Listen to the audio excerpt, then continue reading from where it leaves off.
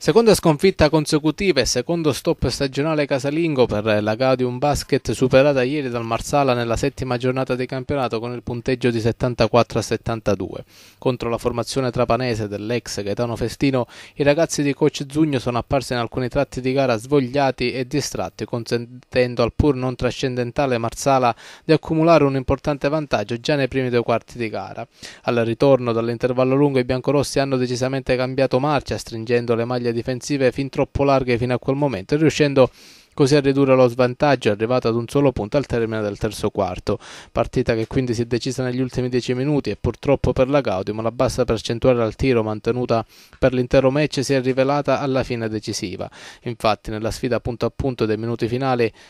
Decisivi sono stati gli errori dalla lunetta di Vanni e di Marco, 0 su 6 per loro, e quelli dalla media distanza di Sena e Beltrane che hanno vanificato così le oltre 30 palle recuperate nel corso della gara dalla Gaudium. Nel finale la formazione canigattinese ha avuto la palla del sorpasso fallita da Di Marco da 3 e poi sul rimbalzo proprio allo scadere Beltrane ha sbagliato il tapine che avrebbe portato il match ai supplementari. Nel prossimo turno di campionato i biancorossi andranno a far visita al Gele in un match che dopo due sconfitte di fila diventa molto importante per il futuro della Gaudium.